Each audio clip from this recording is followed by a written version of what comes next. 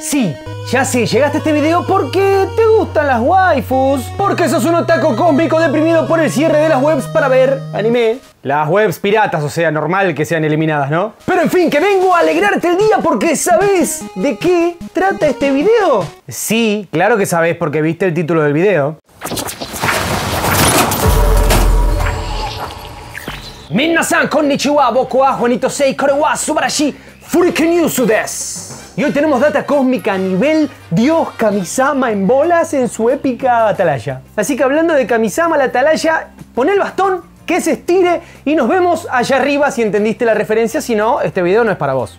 Japón, como siempre, es muy Japón y los pinches amos de la galaxia están abriendo en Yokohama un museo lleno de mierda. Y no me refiero a arte de ese que es feo, feo. Hablo de caca justamente. Sí, sí, sí. Como escuchas, el Museo Soretil de la Bosta Cósmica, lo más chistoso es que cada sector tiene nombre caquil. Por ejemplo, el sector cacateractivo, donde podés interactuar con la bosta, el sector caca-escenario para poder sacarte fotos al mejor estilo escenario, la parte caca-inteligencia, y así se va entendiendo un poco el concepto, ¿no? Eso sí, solo va a estar abierto del 15 de marzo al 15 de julio. El usuario de Twitter Kisagari Hutae 6 creó esta épica obra de arte, según él en su cuaderno, pero para mí hay algo más ahí de la computadora, pero creó esta épica obra de arte que no es ni más ni menos que una animación donde podemos ver el primer nivel del Super Mario Bros. de Nintendo NES. Qué bueno, considerando que el muchacho es nipón, habrá sido el Super Mario Bros. del Famicom, ¿no? Y obviamente se viralizó el puto amo. Malas noticias para los fans de Your Name porque se confirmaron una serie de datos, digamos, perturbadores para el live action que están cocinando. Lo primero, que el director va a ser Mark Webb, más conocido, claro, por ser el director de las dos pelis de Amazing Spider-Man que Seamos sinceros, a nadie le importan, esas no existieron. Pero lo peor, que se super confirma que va a tener un punto de vista occidental super mega yankee siendo los dos protagonistas, un pibe de Chicago y una chica del campo de por ahí. Ni estrenaron y ya me dio cagadera. Mención especial en esta edición de Furiki al padre mala onda que destruyó la ilusión de algún muchacho nipón.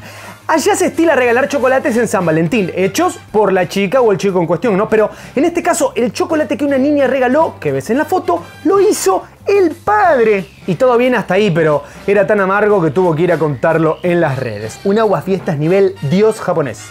Hoy mismo día en el que estoy grabando este video y seguramente en el que lo suba, porque como es un video de noticias lo tengo que subir rápido.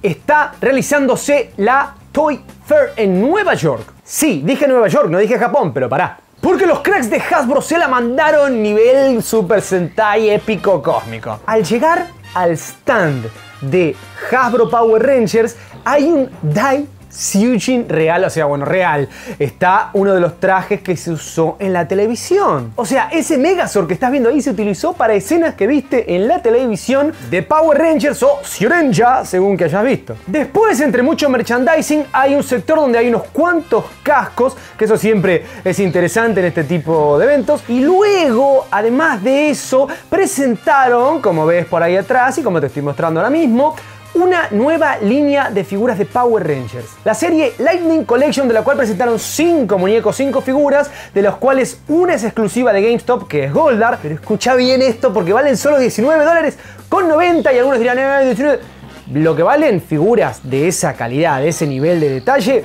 en general es más. Y obviamente apenas esté disponible online voy a hacer la precompra del blanco y del Orcel.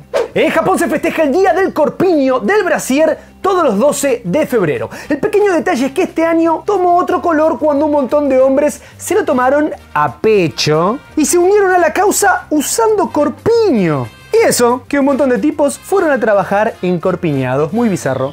El 22 de marzo en Japón, día donde comienzan a florecer los sakura, se abre el Sakura Chill Bar. Pero ¿qué tiene de especial? Este lugar va a contar con una pileta, una piscina de Sakura rellena de 1.2 millones de pétalos de Sakura, claro. Una locura total. Y atención hablando de Sakura, porque si andás por Niponia desde el 15 de febrero, en Starbucks podés comprar un montón de productos Sabor Sakura, claro. Como rosquillas, tortas o hasta café. Así que si andás por allá, no te olvides por favor de traerme algo, ¿no? Vos que estás del otro lado, sos un fricazo edición Hikikomori que no sale ni de su casa. para decirle a la persona que ama que la ama. No temas porque es tu día de suerte. La empresa Kokunabi llegó para solucionarte tu problema. ¿Qué es lo que hace esta gente? Bueno, por el plan básico de 29.000 yenes van a tomar tu mensaje, lo que sea que quieras decirle a la persona que además van a ir, se lo van a decir y después van a volver y te van a decir qué es lo que ella respondió. Pero después hay planes más caros y, bueno, supuestamente más épicos,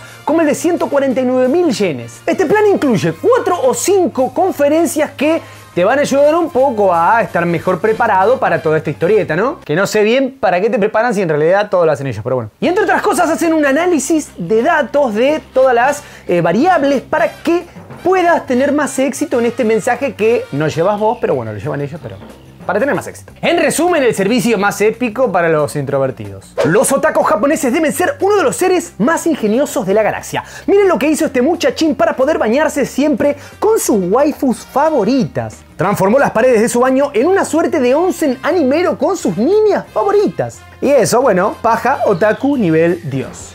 ¿Alguna vez escuchaste hablar de Seiri-chan, el curioso personaje que representa al ciclo menstrual y que tiene su propio manga? Buenas noticias porque acaban de anunciar que se viene un live action de Seiri. Y eso, bizarreada nivel nipón, ¿qué más puedo decir? La palabra ningyo en japonés suele traducirse como muñeco, pero en realidad sería algo más como figura. A ver, referencia a algo que en realidad no es un juguete. Y eso exactamente es lo que es este Batman Ningyo, una suerte de encapotado samurai kabuki para que tengas de adorno. Y la verdad que está tremendo, quiero 10. La empresa japonesa de cosméticos Lab Cosme hace todos los años, por alguna razón, un estudio muy curioso donde miden los bustos de las japonesas. La idea es sacar un promedio de qué tamaño de busto tiene eh, cada prefectura en Japón, que son 47. Este año midieron a 33.800 más o menos participantes y descubrieron algo épico. Las tetas están creciendo en Japón. No Así como lo escuchás, en Tokio, por ejemplo, el pecho, el tamaño que tenía un año atrás, bueno, ahora en promedio es más grande. Así que si por curiosidad te interesa saber por alguna razón, las pechugas más pequeñas se encuentran en las prefecturas de Fukui, Kyoto, Shiga, Oita y Saga. Pero por el contrario, las pechugas más prominentes las vas a poder encontrar en Chiba, Kanagawa, Fukuoka y Osaka. Así que si vas a Tokio como suele ir la gente en general, te aviso que Tokio en la escala de los cuatro diferentes tamaños textiles se encuentra en la segunda, por lo tanto, eh, está de la mitad para arriba, pero segunda. Y no sé qué utilidad tiene esta info, pero gracias Love Cosme. La modelo japonesa Yuka Kuramochi, digamos que siempre fue famosa por su voluminoso trasero, cosa que no es nada común en aquellas tierras. Y pese a que podría mostrarles 400 fotos de la chica para vuestro deleite, prefiero comentarles qué fue lo que se viralizó de ella últimamente. Fue su casa. Porque al parecer tiene uno de los baños más frikis de la galaxia completamente tuneado con elementos de Dragon Quest, pero por si fuera poco el culo y el baño que tiene, el resto de la casa está lleno de cositas de Nintendo. Así que, Yuka, cuando quieras invítame a tu baño a hacer el número 2, que va a ser un placer. Te entrego a mi novia como forma de pago, lo que quieras. Pero invítame a ese baño. Miren esta belleza, por Dios, que está lanzando Bandai en su serie Tamashi Nations. Un puto citripio samurai. La cosa más delirante que nunca se me hubiera ocurrido que quería tener. Hablando de cosas japonesas, ¿Ya viste el programa de Mari Kondo en Netflix? Está todo el mundo hablando de eso, incluso admito estoy doblando mi ropa como enseñó esta mujer en el programa. Pero ¿qué pasó? Lo curioso, bueno, es que se armó una ola de japoneses que de alguna manera están en contra de Mari Kondo. Lo que dicen es que esta mujer estaría lucrando con un montón de cositas que básicamente son la cultura japonesa, o por lo menos las costumbres comunes. Porque gran parte de lo que ella enseña y lo camufla un poco en Zen y esto y el otro, es lo que los japoneses tienen que hacer para poder vivir cómodamente en las casas que tienden a ser mucho más pequeñas en Japón que en Estados Unidos. Entonces es clave doblar bien y es clave deshacerte de cosas. Y por otro lado se han quejado también un poco de que vende toda esta película Zen como si fuera algo común en Japón, estar agradeciendo a la casa, estar agradeciéndole al calzoncillo que vas a tirar. Dicen, no, no somos así. Pero más que boicotear a Maricondo, lo que quieren es que ella aclare que es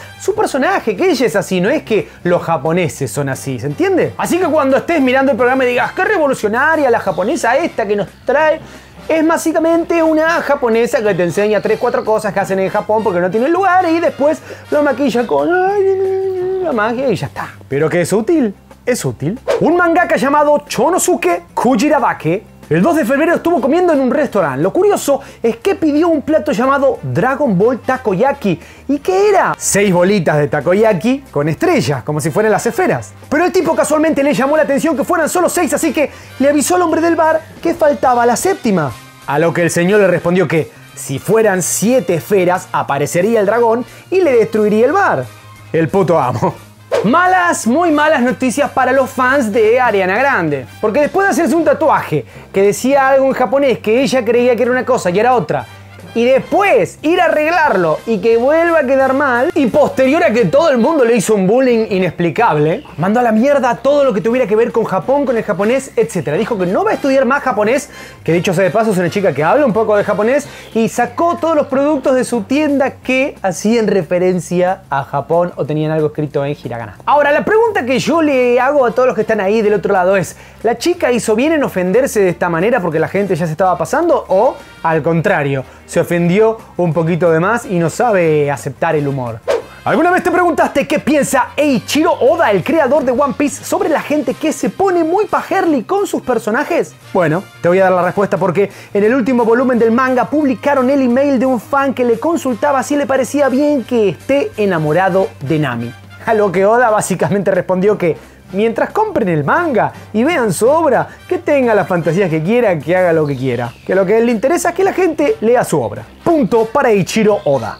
Y si vos te querés llevar un punto también, dale duro, duro, duro al botón de like, suscríbete ahí, chequea la campanita y el otro botón que está ahí que dice unirte porque con eso me ayudas a seguir haciendo videos. Seguime en todas mis redes sociales, chequea la tienda del carajo, enlace en la descripción porque hay gorras épicas como esta. Y ahora sí, ya sabés cómo es la vaina, soy Juanito Seiya, está haciendo una nueva ración épicamente kawaii de Furiki Newsu. Te agradezco mucho que estés del otro lado y nos vemos la próxima. Dewa, Matraishu.